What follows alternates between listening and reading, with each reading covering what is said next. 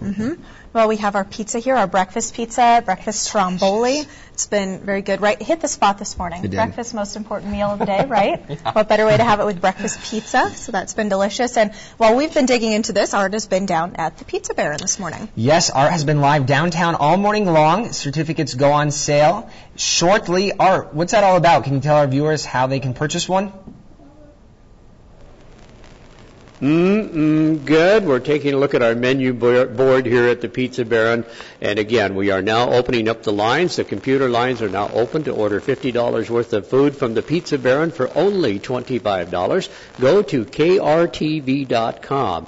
Up at the head- headline banner, you'll see half off dining, and that's the place that you want to click on to get your $50 for $25. And what amazing food we have here. And again, you can try before you buy. Come in, get a cup of coffee. We'll let you have a sample before you buy. And you'll do that by 7.30 this morning.